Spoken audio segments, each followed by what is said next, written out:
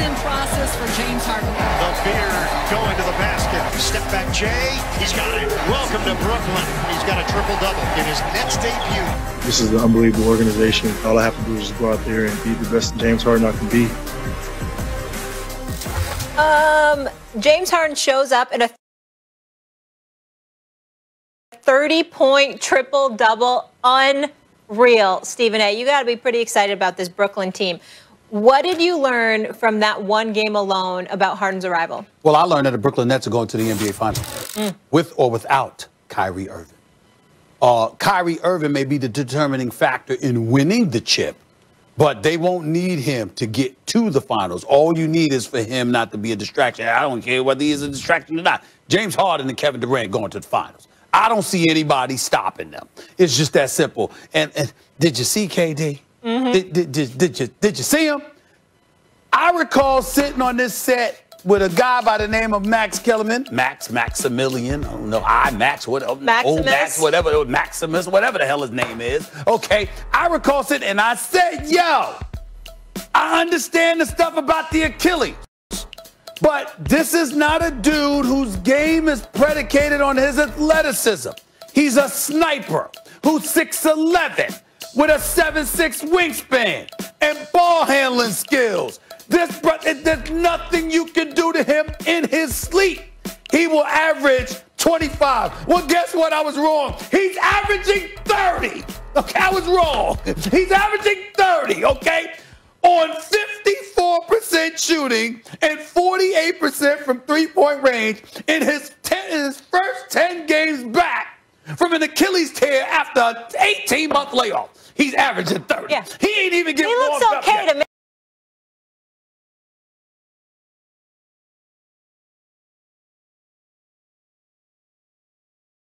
He, he ain't even get warmed up yet, okay? And so now you got Harden in there. And Harden, with his ability to pass the ball, Mm. we're questioning his, you know, he dribbles the ball, whatever. Harden will pass. Harden will accumulate assists. And we know what he can do point wise, particularly one on one. Lord have mercy. You, you, you, Brooklyn going to the finals. Brooklyn is going to the finals. That's all I. That's what I learned. Well, first of all, KD actually, one of the remark- remarkable things about him so far is his athletic ability, his athleticism, as it were, doesn't look affected at all. He looks like the same guy. He's had an amazing recovery. Let me say this. Um, they still have a fighting chance to get to the finals with Harden and without Kyrie. That we, but I can't say, oh, they're definitely going to the finals without Kyrie. And this is why, Stephen A. The Harden move accomplished a couple things. It was a muscular move, right? It, it did more than one thing at one time. It was a hedge against Kyrie imploding or not being available because you brought in a superstar that gives you a premium at the highest level, even above Kyrie or almost everyone in the NBA, to pair with a guy even better than him in KD. And that could make up for a lack of depth, which didn't used to be the problem when the season started. First, the Dinwiddie injury. Then they trade LeVert and Allen, and then LeVert has some scary medical news, some kind of a growth on his on his uh, uh, kidney. Like you know, you hope he's okay. But there are three guys of their six best players who aren't there. Look, like that, that's three out of a nice starting five. LeVert and Dinwiddie, kind of quasi All Star level, and Allen, who's very good. They're all gone. So to make up for that, they got you know counterintuitively instead of looking for more depth to fill it in, they said no, we're going to go high end to make up for it. They bring in Harden. What Harden showed with KD is, yeah, he can play with KD easy, and they're going to be really good. But that's two guys they have now. They don't have any of their other best players, including maybe Kyrie. So, because of how thinned out the team is, in order to bring on Harden, partly as a hedge against Kyrie's absence, you actually really do need two things. For Kyrie to be there for those guys, so it's three stars, and for Kyrie not to gum up the works, not to throw a monkey wrench into everything, because Harden and KD seem to know how to play together. Oh, Max Kellerman, why don't you just tell the truth to the American people? You holding on to Milwaukee, bro? I mean, you wrong two years in a row. You said that you went from Giannis being the best player in the world to number five over a weekend, and then this in the bubble you picked them to beat Miami. You were wrong about those two things. Is that what this is about, Max? You holding on hope because they got Jrue Holiday and they still kept Middleton and they got Giannis the Greek freak. Are you still holding on to Milwaukee coming out of the East? Is that what this is all about? You going for the three strikes and you're No, out? I'd rather. how much you love I would baseball? much rather. I would much rather Brooklyn come out of the East. A New York team that's not the Knicks. I'm Playing for a championship against the. Lakers, probably would be I'm just checking. amazing. I'm not holding checking. on to Milwaukee. I'm just saying Brooklyn's it's going going to to take finals. more than two guys. Yeah, Yeah. two guys. Uh, defensively, offensively, they don't need anything but those two. it's like that. Yeah, I'm just sad I can't go to of the court. games. You will be. I think you will be by the time July rolls around. Hopefully around. soon. Last year I time went to a few. By the time June, it's- July rolls around, you'll be That able was to a lot of fun. I Yeah. hope so. All right, uh, we'll leave it there, I guys. so. When we come back, we're going to recap. chooses. Allow me to introduce myself indeed. First 30 point triple double in a team debut all time. Seventh player with any sort of triple double in a team debut all time. Let's hear from the beard. Hey, James, congrats again on the win. Uh, your teammates out there learning, getting to know you. What did you, though, learn about your teammates tonight? Uh, we have some special talent in his locker room. Uh, very versatile um, shooters, playmakers, um, defenders, a little bit of everything. And that's what you're going to need, especially when it comes postseason. Uh, obviously, we haven't built you know as much chemistry as we, as we would like, but uh, that first game, it felt good to be out there on the court and, and just you know giving guys confidence, giving guys energy, and that's what it's going to take throughout the course of the year. Uh, and once you build that up and guys believe in each other, then uh, it's pretty scary. Malika Andrews with ESPN. Hey, James, I'm, I'm wondering if there was any sense of this was like riding a bike, getting back out with, with Kevin Durant. I'm a hooper, so I just, uh, uh, like I said, I'm very unselfish. I'm, I'm, I'm willing to just do whatever it takes to win, and obviously, KD is just a, you know, elite, like just different type of, of basketball player as far as um, the way he's able to score the basketball. Um, it's so easy for him, and I know that. So uh, I just want to make it a little bit more easier if I can, um, and then you know, for the rest of the teammates, our shooters and our bigs, make it easier for them. Um, so yeah, it was pretty easy out there. Greg Logan with Newsday. James, uh, yesterday you said when you were asked what talent do you need to improve or emphasize or whatever, you said playmaking. And it seemed like that's what you were concentrating on tonight. You got everybody's shots, you distributed the ball, you moved it quickly, and then when you had to, you turned it on offensively. So can you say is, is that you expect that to be your approach going forward, especially when they add Kyrie Irving to the mix? Uh, for me, I'm just, you know, I have so many dimensions to my game.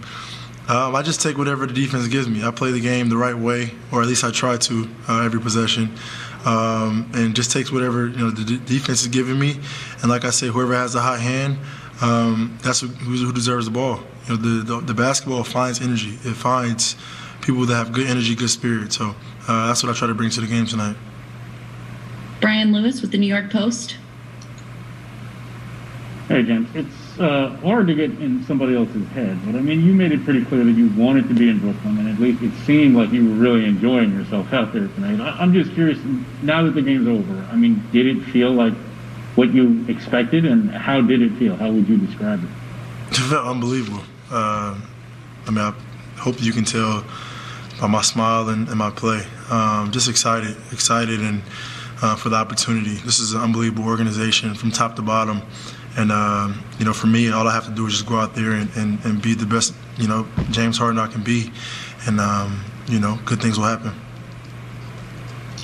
Christian Winfield with the New York Daily News.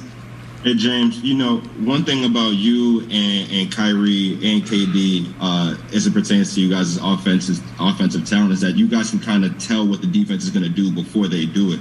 Uh, how do you think that is going to help guys like Joe, uh, guys like DeAndre, when the defense can't really help off of, you know, we saw today, defense can't help off of Joe. He's going to hit a three. Defense can't hit help off of the guy down low. You got to throw the lob up, up top. Uh, how, how does that make this team better that you guys all know what the defense is going to do and they can't really double you?